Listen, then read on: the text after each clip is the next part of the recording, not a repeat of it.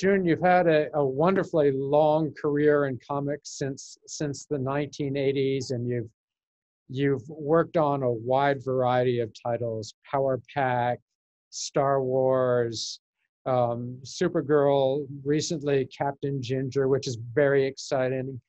Can you tell me, when you were younger, what was it that interested you in comics in the first place and, and got you to even think about it as a possibility for a career? Well, when I was really young, I, I didn't think about comics. I, I knew I wanted to be an artist and I wanted to be a professional artist. I wanted to make money. Um, but I never gave comics a thought. I didn't read comics when I was a, a kid. I wasn't forbidden to or anything. It's just, um, you know, uh, I wasn't really interested. It was mostly superhero comics.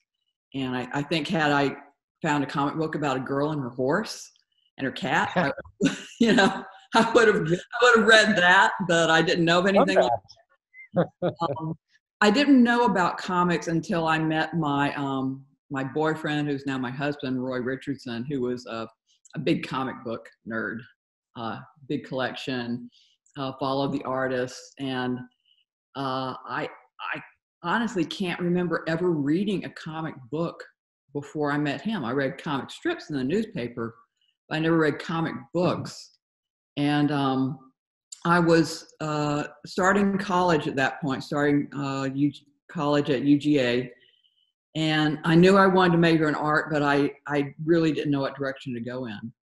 And so he showed me some of his, um, I think it was Jack Kirby Fourth World comics, wow. Uh, New Gods, and I, uh, it was just like getting sucked through a interdimensional warp or something. I just remember just being pulled into those pages and that artwork and and uh, then I, I, think the next step was he he took me to a comic book convention in Atlanta and I met artists and saw them working and I thought wow I, I really like to draw these people like to draw they draw really well and they're doing I they were doing these amazing drawings with no reference, no models, but they were totally believable, dynamic. Um, and that just, I've always liked drawing. And that really appealed to me. And that, that was the spark. Was your mother or father into arts in any way, shape, or form? Was there a proclivity for it in your family? No, no. I, think if there's a proclivity to anything, it's focus um, the ability to uh, get almost like tunnel vision focus on, on what we're doing. My, my brother and sister and father all had that ability and that comes in really handy when you're, when you're drawing comics. So I, I wanted to draw comics uh, when I was a kid. I did interview at Marvel and I did work there for about a week until they fired me because I wasn't very fast. So it was my I was way too detailed. And and this leads me to my uh, my next question. I went to art school at uh, the University of Florida, and it was a traditional art program with a really good printmaking and a really good painting department, but it didn't have any any focus on any kind of applied arts like illustration or or comics. And i imagine the same must have been true when you originally went to the university of georgia. So what did you study there uh, you know i went through the the core program my freshman year um, you know figure drawing uh, color theory um, I, I, well, that was a long time ago. um, you know, basic core stuff. They did, I believe, they did have a focus on illustration there. Um, I had an instructor on one of the core, like basic drawing classes, that was very helpful, in that he he made us keep a sketchbook with like we had to do 50 sketches a week in the sketchbook and at first, everybody was killing themselves because they were trying to do all this, you know, modeling and rendering and hatching and blah, blah, blah, blah, blah. And he finally said, just make everything something. Just mm. make everything something. And I started doing these drawings. He compared it to De I think, which were just these simple, simple line drawings. But you could point to everything in that drawing and say, well, this is a wall, this is a chair, this is a desk, this is a sky. Everything was something. And in, in hindsight, that was really helpful. Um, you weren't just, you know, because in, in comic books, everything is something. You're not just drawing a flower floating in space you have to define your space, define the space the characters are in, not just the characters. So I wish I could remember his name. I want to say it was Olson, Ollie Olson. Um, but that was that was very helpful. Uh, but there was no concentration in, in sequential art at, at, at back then. I think there was a, the Joe Kubert School had opened up in Dover, New Jersey, New Jersey, but that was about it as far as as far as comics and sequential art. Well, absolutely. And so that was a highly specialized proprietary program. And so uh, you were impressed by the people who were working at this particular convention and it inspired you. Your boyfriend had a collection of, of good work. And I think we're about the same age. Obviously, the Jack Kirby influence grabbed me. I remember going every every week to the local drugstore where once a week they had a new shipment of comics coming in and, and getting everything that I could possibly consume at that time. And, and uh, his work was certainly dynamic. And it's what prompted me to want to go into at least illustration as a career. So how did you initially get your foot in the door? You went to the Kubert School, did you not? No, I didn't. I, I you didn't. I uh, I actually dropped out of school um, and started working on a portfolio and just looking at other comic book artists. I mean, I had some background in figure drawing. I knew some perspective. I started studying artists that I, I liked. Um, at this convention I went to, I met Bernie Wrightson and I met Gil Kane. And um, I, I, started looking at them. Those were, were two of my favorites. And just worked up a, a little portfolio. And um, gosh, I, I did some work. I was did some published work for a very small comic book company in Florida, um, owned by a guy named Bill Black, who who gave uh, quite a few artists a, a, start. And so I had something in print, and then I, I got a little job for DC for they had a new talent showcase book of unpublished artists and writers, and I did a little job for that. And the the guy who wrote it, Steve Ringgenberg, was working at Marvel at that time. I can't remember if it was like a secretarial position or assistant editor. But he said, Hey, if you want to come up to New York and visit, I can get you in the door. And that really? was got my foot in the door. You could do that then. you could know somebody that would get you in, you would sign in at the front desk and walk around to the editor's offices and knock on the door, introduce yourself, show your portfolio, get a job. That's remarkable. And of course, that was true in the freelance illustration days. I was able to do that and able to go and, and show portfolios at a, at a time when you could call up art directors and make appointments and and get your foot in the door and make an introduction. That time has vanished. Oh yeah. Really, very difficult thing to do these days. But um, you needed, the paradox was you needed to have a tear sheet. You really needed to show somebody who was giving you that interview that you had been published before when you were looking for that first shot, that first chance. And that was the catch 22. You're looking for a job, but you don't have a job under your belt yet. And who's going to give you that very first break? That's a tough one. And so it was very fortunate that you had had that that already printed copy of something that showed that you could meet a deadline, that you were publishable, and that and that you had that shot. So you went to work at Marvel, and at the time that you that you broke into the field, there cannot have been too many women working in the business. There would have been you and Louise Simonson and Marie Severin and I guess Flo Steinberg, who sort of ran ran the shop at Marvel, and I I had met her once when I worked there for a nanosecond, which was absolutely delightful. Um, how how was the environment there for women creators early on when this was really an industry that seem to be geared towards male creators. Right. Um, honestly it was it was very welcoming. It was very welcoming. I i think that's not always a narrative people want to hear from me. Um, there there weren't a lot of women in the business, but not a lot of women were really interested.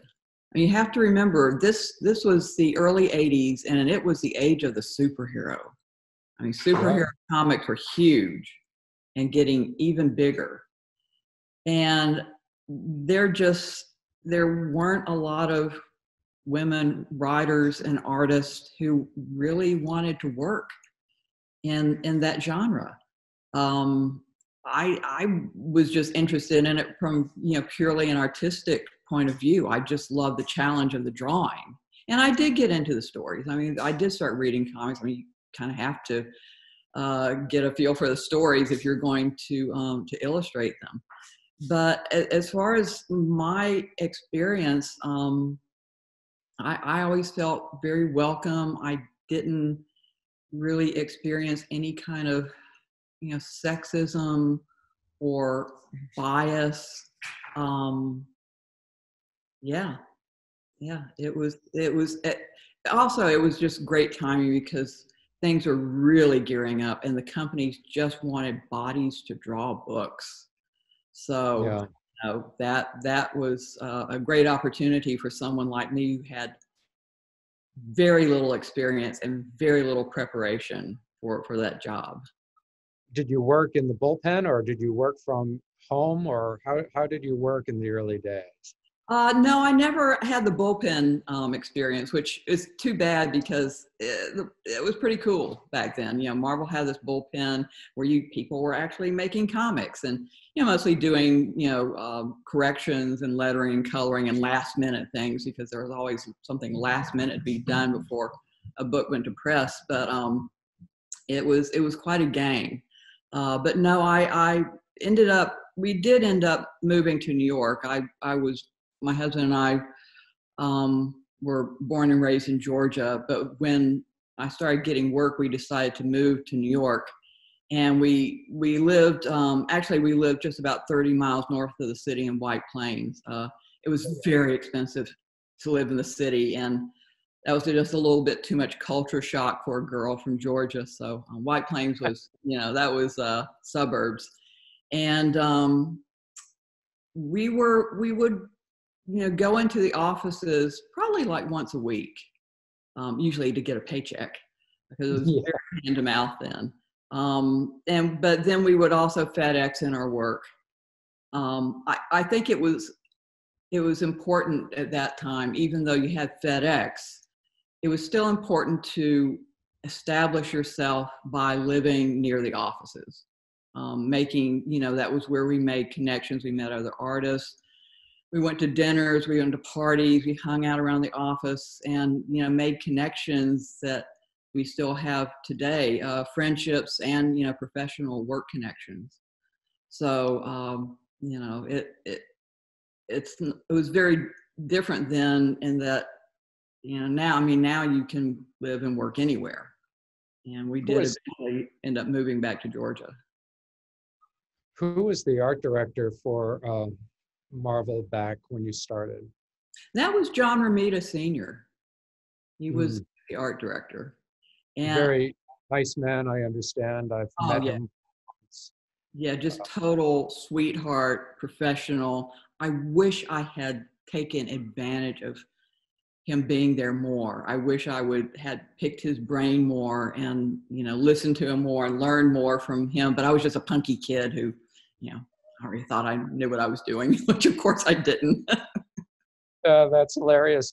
And so um, you ended up teaming up for Power Pack with Louise Simonson, who has had a very long and well-established career, a wife of um, a great artist, Walt Simonson. But Louise is, is a terrific storyteller. Tell me about uh, Power Pack, how you got together and, and generated that um, creative work.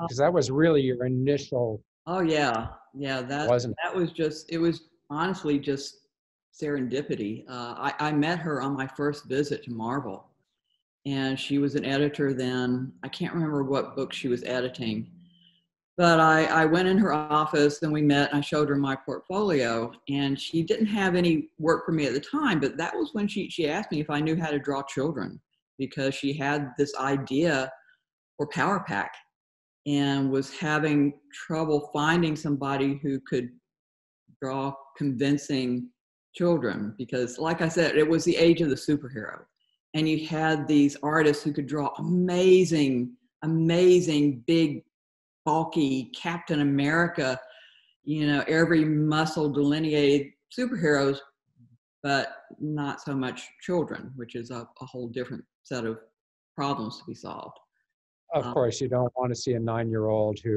is uh, overly developed. Right. but um, what what is it like for you to have that collaborative process of of working with with a writer like Louise or or the writers with whom you work for um, your your daily strip? Right. Um, what is that process like for you? Is it something that's a true give and take? Is it a conversation? I'm really curious. Well, I've been really fortunate to work with good writers all throughout my career. And um, I think for the most part, we there is an interchange, there is an exchange of ideas, but I know they know what they're doing. They know I know what I'm doing. And we kind of leave each other alone. I mean, we communicate, we throw ideas in the pot, stir them around, see what happens, and then we do our thing. Um, I really like, I've always liked working with um, Louise uh, because she writes in a style that's kind of like full script, but also still like Marvel style, which is a whole other conversation about styles of writing comics. Um, Marvel style gives the artist a little more freedom in the pacing, whereas a, a writer who writes full script is more in charge of, of the pacing and the beats and the timing of the story. Um, she writes in such a way that um, I, I know exactly what she's thinking. I know what the, the characters are doing and saying and thinking, but it gives me a little more leeway in, in the pacing of the story. Um, and with the with the comic strip with with Mary Worth, most of the communication is done at the beginning of a story arc, and it goes something like, "Do you have any ideas for the next story arc?" Oh, well, let's see what we can come up with. And you know, the writer and I will, you know, uh, Karen Moy will will toss some ideas around and and you know finally settle on something and and then flesh it out some more and do it. So I'm really interested in the differences between working on a comic book that would be 20 plus pages uh, and and the demands of a daily strip. I know your husband colors uh, the daily strip, doesn't he? And does he do lettering as well? Uh, we, we have a little cottage industry going here. I do the pencils. Uh, he does inking, lettering, and colors the Sunday page. Right. And so how does it work for for you when you're given a script, provided a script for a comic book specifically? What is your day like? Do you get that script via email, FedEx? Are you thumbnailing it? Are you submitting those? What's the day like? What's the month like? I'm really curious for our students or prospective students who might be interested in pursuing this field, either for their own comics or for doing storyboards for animation studios or uh, advertising agencies. From the time you're presented a script idea through a little bit of the process in which you develop that story that ends up being that 22 page comic. Right. Um, at this stage in my career, I don't submit thumbnails or layouts. Uh, I I get the script through email. Um, like right now, I'm working on a, a, Power Pack series, and I get the script from Louise, and I sit down and I'll, I'll read through the whole thing. And then I, because of the way she writes it now, where she breaks down the story page by page, panel by panel, I thumbnail it one scene at a time. Back in the olden days when it was Marvel style, a writer would give you almost like a synopsis of the story. It wouldn't necessarily be broken down page by page, certainly not panel by panel. So you really had to sit down and thumbnail lay out the whole job to make sure you weren't going to get to page 20 and you still have about 10 pages of story left to tell. So it was important to do the whole thing at once. But um, nowadays, most writers, um, most writers work full script, so they're breaking it down page by page, panel by panel that's already pretty much decided the pacing. So I will get the script, I will sit down, I will read the whole thing, I will thumbnail out one scene and draw it. I find it difficult. I know artists who will break down the whole story, thumbnail it, lay it out, the whole story before they go to what's called finished pencils. I find it really hard to do. Uh, the, the, the layout the thumbnailing, that's the storytelling part of the job. It's the hardest part to me. And I just don't have like the mental artistic stamina to lay out the whole job at once. So I, I, I break it down scene by scene. And then I sit down with my pencil and my, um, you know, 11 by 17 Bristol board. And I just, I start drawing. I, I have my little scribbly thumbnails that only I can decipher. and right. um, but but you know it, it, gives me a plan and sometimes as i'm drawing that plan may change i'll see something i decide to emphasize something i'm going to de-emphasize maybe i'm going to change a camera angle here or you know I'll, I'll make some variations but i i draw it and then i scan in my pencils and send it to um, the writer and the editor. And they say yeah this looks good. And then i walk downstairs and hand the original pencils to my husband, who he's he's inking me on the power pack job, and um, he inks them, and then he goes through a similar process of uh, doing digital cleanup, formatting the page to um, the printable size and proportions, and um, sending it off. That's, That's really remarkable. And so, if he's inking your work, is the the inking being done on a Cintiq monitor, or is it is no. he a traditional? He's old school. He's old I school. love you both. I think that's wonderful. I, Although I think it's Cintiq, marvelous. Yeah, I, I've tried to talk him into, especially on the, the comic strip that we do, because we're we have these like big rubber tubs full of comic strips. I'm like, you know, we could do this digitally. Um, I tried to talk him into working on the Cintiq. He's like, ah, you know, all grumpy nah. that's, that's, hilarious. Um, so when you're doing a power pack, you have obviously there's a printing schedule that has to be adhered to a distribution schedule that has to be adhered to. From the time you get the script to the time that the work is submitted by you to your husband are we talking two weeks or so three weeks? You have to give him time to ink it and get it off. How does that work? Uh, deadlines are a touchy subject. I know they are. They were for me.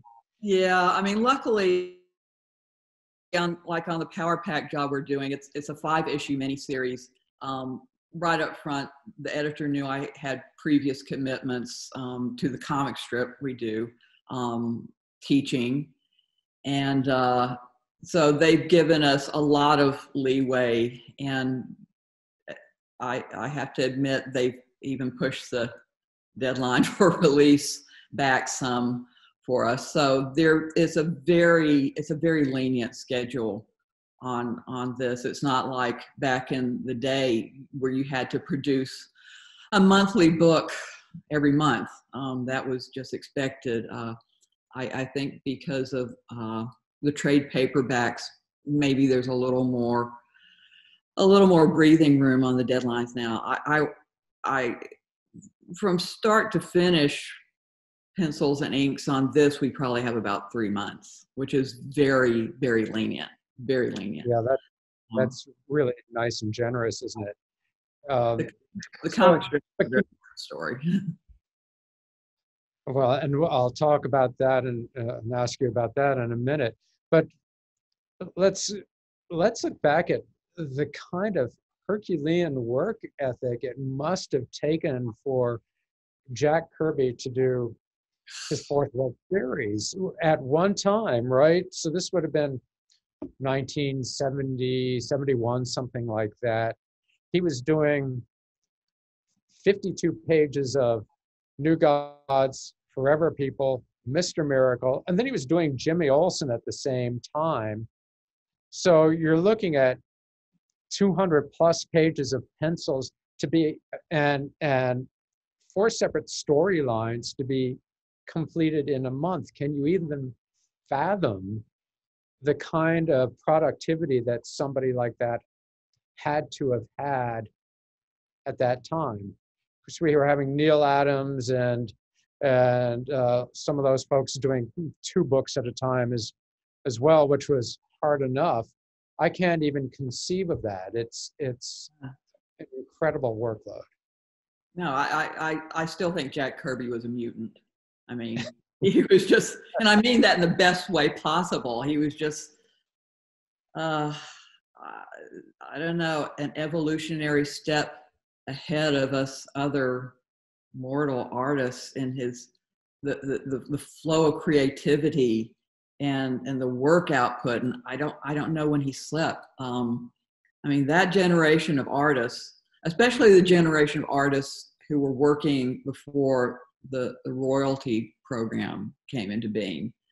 Oh, um, absolutely. Um, I, I, I have so much respect because they were getting paid so little and they had to they made a living off the sheer volume of work that they did and yet they were doing incredible work just incredibly beautiful work it was there was a real commitment to the craft to the story to the product to the business of making comics and entertainment itself and when you were being paid a single page rate.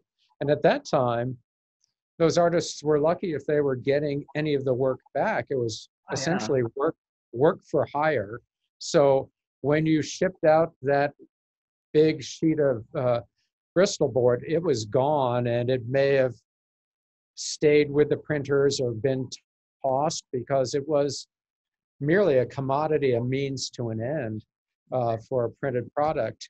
And so it, it's still really astonishing when you look at, at the history of, of this industry that um, people were able to earn a living and and to um, and to find enjoyment in a system that was pretty repressive. And it took until uh, comics became more of a favorable business model with with royalties and um, and creator ownership over a, a, particular product line that that would have been considered a luxury to people like Jack Kirby or, or some of the folks who were working at that time as well. John Buscema also had an extraordinary work ethic and was um, working very quickly. And I suspect, obviously, it, it's visible that there is a, an artistic visual shorthand that they were able to apply to their work that enabled them to work more quickly. Have you found that visual shorthand for yourself? Because Lord knows I haven't found it for me. yeah, I, I, love the things you post where you're like, here's a sketch. And I'm like, that's it. What, are you talking about? What did it take you a week to do this sketch? no, well, I'm pretty good at the sketching, but you know, it's the the finished stuff that's incredibly hard. Um, I mean, that's that's part of the the business. That's part of the artistry that you know develop the look of comics is the, the, the shorthand and I, I think that the, the shorthand is also one of the great artistic strengths. You know you're finding you, you have it's true because of the deadline before because of the you know the production an artist is, is expected to be capable of you do have to find very direct ways to say what you want to say. Say it put it down move on move on. But so something economic in its in its design a real economy of design. Right. Um and you know the artists who are really successful about that i i think that takes place in the storytelling stage stage. I think they find a way to get across pretty complex things in simple ways. And I think to average viewer, they might look at comic books and think, well, this is this is really simple. This is really simplified. It's not sophisticated.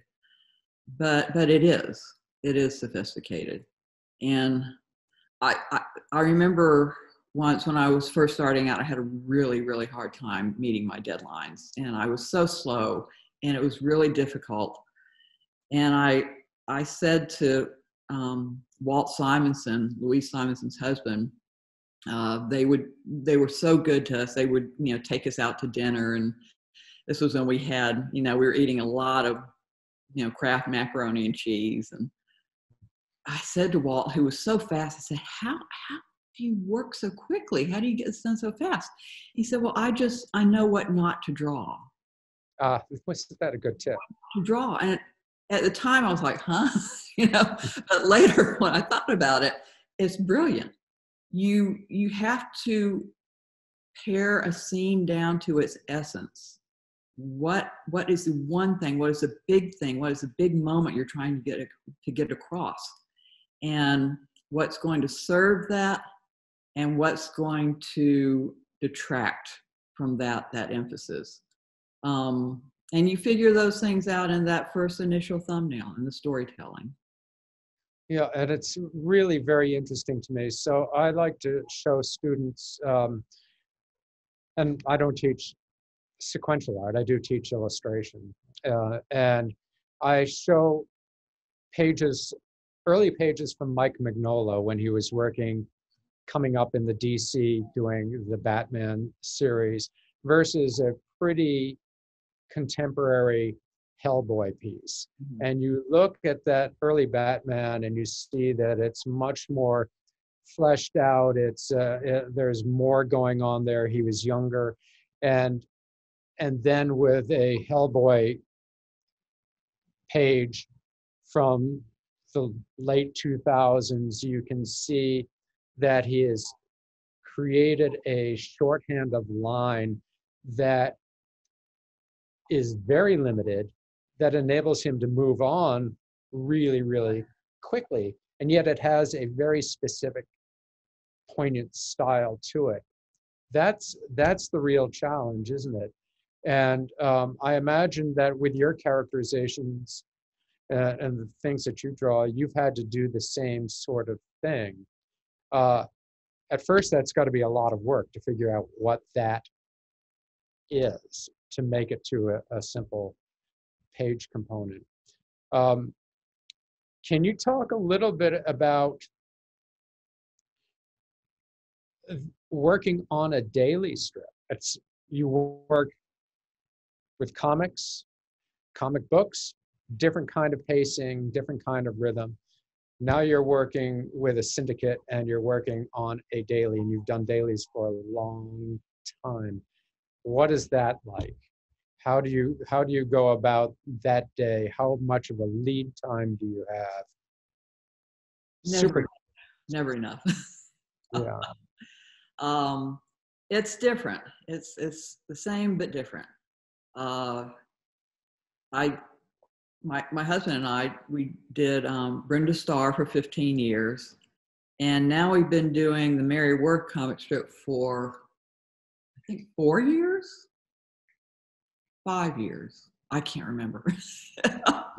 um, and it's it's still storytelling. It's still you know sequential art.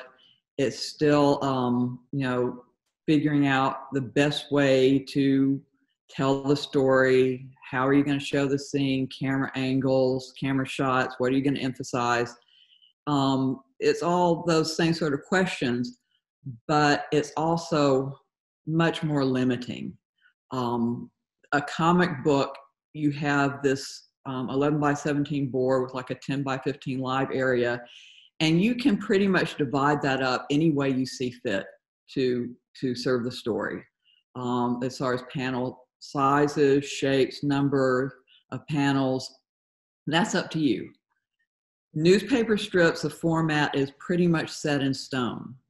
You can't suddenly decide to have a vertical panel going the length of the strip. You can't do that uh, because of the, the newspaper printing process and the way newspapers will sometimes rearrange the panels or leave the first tier of panels out.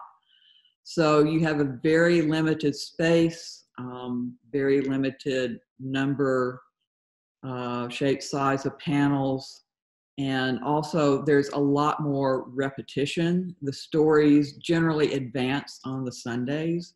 And then the, the dailies, which is the Monday through Saturday strips, just sort of expand on what was done on the Sunday because there are some people who don't read the dailies. And you should be able to keep up with a strip based on what you read in the Sunday. So there's a lot of repetition. It's um, the formatting is very limited, um, and the the deadlines are relentless. Relentless. Uh, so, so how far in advance are you working? So if the the piece that is in the paper today, um, I think we're, I think we're about uh, six weeks ahead on the dailies no, six weeks ahead. I think we're six weeks ahead on the Sunday page and uh, four or five weeks ahead on the daily strips. And even that is cutting it a little a little close. Um, but I think most comic strip artists would tell you that you can never have enough lead time. Sure, and that's um, that's really fascinating for me because in our exhibition we have many, many examples of beautiful dailies and Sunday strips from from the time in which you know a Prince Valiant or a Tarzan, Burne Hogarth Tarzan was a full page, right. and you had the ecology to tell a wide ranging story that would lead into something more subsequent. But and even the in the daily panels, you had five panels or something like that. Well, the real estate in the newspapers for comics these days are much more abbreviated. I don't know what are your what are your Sunday panels limited to in your dailies? I've seen dailies that are what three panels? I have two. Two two. Um, Brenda, Brenda Starr had three. Mary Worth has two. Um, the Sundays that I do have uh, seven panels, but the first two always have to be um, throwaway panels because not all newspapers will print those first two panels. So whatever you do in the first two can't be essential to the story. And tell me more about that. So, what would uh, the first two be? Would it be a recap of what happened during the week, Uh, or No, it, it will it will be all you know part of one one scene. Um, that it might just be uh, maybe an I I tend to do an exterior shot, kind of an establishing shot in the first panel, and then the second panel will be the close up of a character saying something. But um, and but that- sort of lead into the the rest of the the strip um, but it's and the writer you know the, the writer has to be a part of this as well the, whatever the writer puts in those first two panels it can't be you know a big moment a big twist a big you know secret expose or anything because the papers might just leave it out. Yeah that would uh, mess with the story arc certainly wouldn't it? Uh, well june did you ever have the opportunity to meet and have a conversation with any of the really great artists in the industry somebody like joe kubert or or jack kirby or john buscema did you ever have an Oh, yeah. opportunity to sit down and talk with them, talk shop. Um, I'm really curious, particularly somebody like Kubert, who uh, started in comics when he was what? He did his first professional work at 13, 14 years old. yeah Um, did you ever have occasion to to talk shop with him? Uh, I I did. I mean, I, I taught at the the Joe Kubert School for for two years, um, two days a week. I was just part time, and on Tuesdays, um, well, at, at that school during lunch break, the teachers would all go to like the the break room and have lunch together. And Joe on Tuesdays, Joe was was teaching, and he would come in and have lunch with us.